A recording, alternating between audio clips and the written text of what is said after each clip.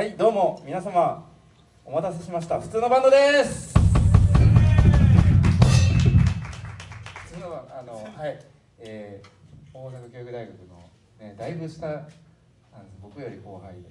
はいまあちょっとちょっと頑張りますんで温かい目で見守ってください。お願いします。はいじゃあ1曲目はあのわ私たちの大先輩の曲をはい。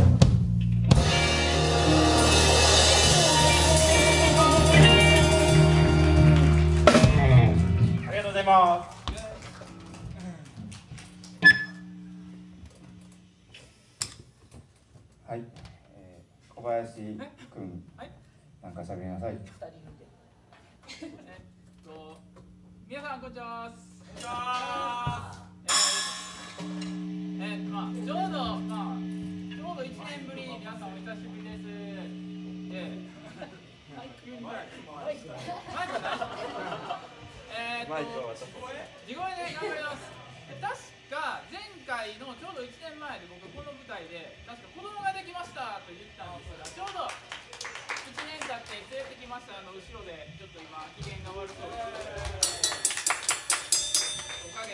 ましてではい、1年でやっぱりこう1年で短いようで長いようでやっぱりこういろいろ変わるなと思って、まあ、また来年も楽しみにしてますんで中島君お願いしますはい東君の子供彼とは違ってまん丸で可愛いね。君の足は棒みたいけどな。はいじゃああの2曲続けていきますよ。じゃあ。これも懐かしい J−POP だよね。はい行きましょう、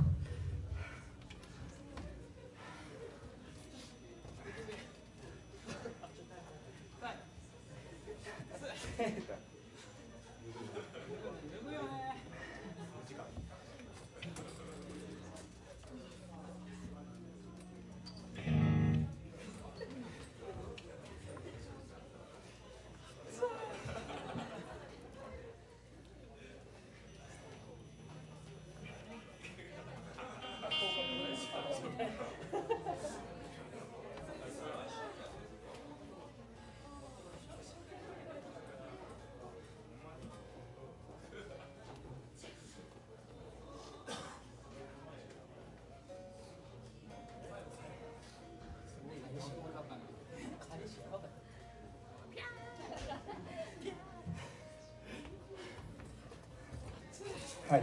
ちょねちょちょっとだけ松川さん。とあのどんなメンバーかだけ一言。あの名前も知らないもんね。すいませんはい。うん。自己紹介じゃなくていいと思います。はい。これはこんな人で。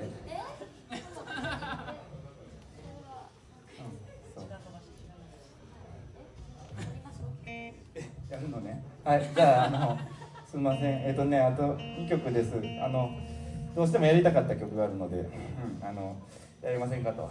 言いましたがまあ難しかったですねいろいろね。はいまあはいじゃあとりあえずやろうか。はいあのいい曲です。次の曲はほんまにいい曲なんですよ。いい曲聴きたいですか？うん。聴きたい。聴きたい。はいいい曲をやりますからね、はい。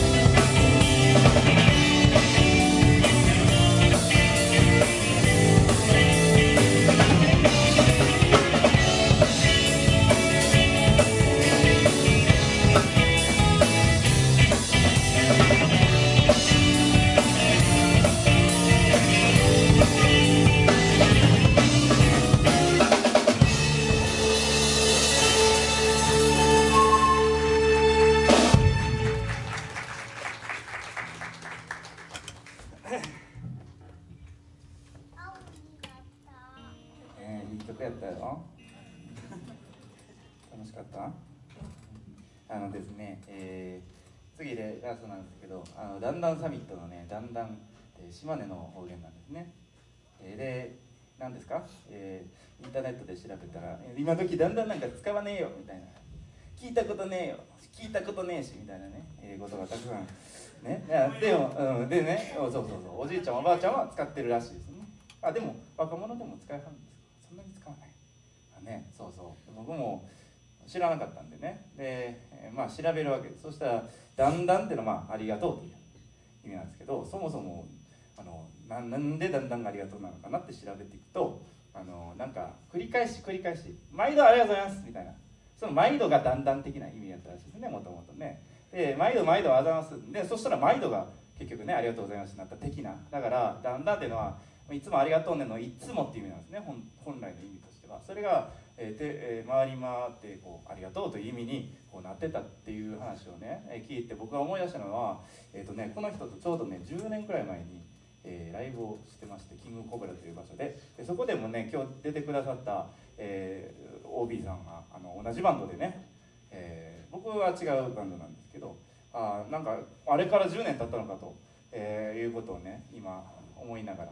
きっとまた次の10年とか、えー、いうことを考え出したら健康大丈夫かなとか死んでないかなとかいろいろねあの考えちゃうところではあると思うんですけどあまたそうやってだんだんでねあのありがとうなおかつこう繰り返すっていうあのこういうイベントがですね一つの軸となってまた未来もいいライブできたらなと思った次第なんです。はい、ということで今日はねあの、えー、最後に、えー、ちょっと「紅白」で「紅白歌合戦」見えてて「いい歌や!」思ったやつで、えー、まあ、今日は締めたいと思います。はいあのえーと、この人たちは僕の同級生と後輩ですから、えー、あの皆さんの仲間ですよ。はい。あの仲間なんです、はい。えー、僕だけ目立ってるようですけどみんな仲間ですから、はい。あのはい、一緒に今日は飲んでください。あの、えー、こんな素晴らしい催し物を、えー、に参加させていただいてどうもありがとうございます。じゃあ最後の曲をお聴きください。